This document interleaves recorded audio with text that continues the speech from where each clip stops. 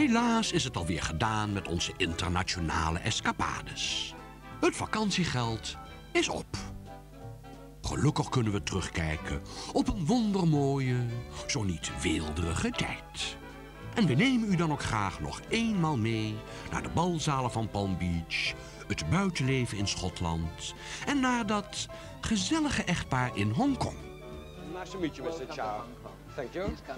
Meneer Chow ontving ons allerbeminnelijkst, maar hij had ons wel even mogen waarschuwen voor het naar binnen gaan. Hier heerst Shirley Bessie. Meneer Chow bekijkt het leven graag door een gouden bril.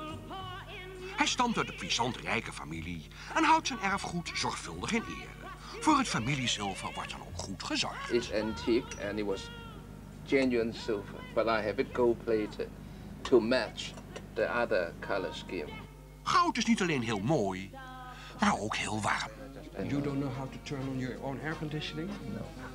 You're not a very technical person. Not at all. Het wachten was dus op de vrouw des huizes. Helaas was de party van gisteravond nogal uitgelopen. Ze lag nog in bed. Maar we kregen toch een aardig beeld van haar door middel van de kunst. That's Brenda about um, 20 years ago. En dit is Brenda uitgevoerd in parels. Echte parels.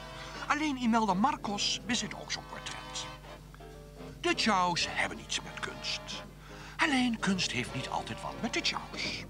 Zo was dit prachtige muurkeramiek geheten Love and Peace van een kunstenaar uit Rome een meter te hoog voor de woonkamer. So I have to saw it off. And he was very mad when, when I showed him the photo when I got to Rome.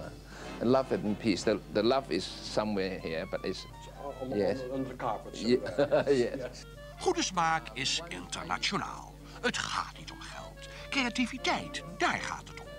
En ook met simpele middelen weten de Chows het gezellig te maken. These are jade. These are real amber, real coral, pearl, and various things. Alhoewel we inmiddels behoorlijk nieuwsgierig waren geworden naar mevrouw Chow, stond de gast erop dat we eerst de antieke vazen nog zouden bewonderen. En de vakantiesouvenirs.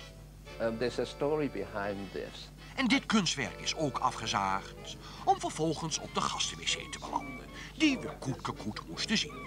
Op deze gouden munten heeft de hele Hongkongse boomwolder gezeten. Eindelijk was het dan zover. Everybody was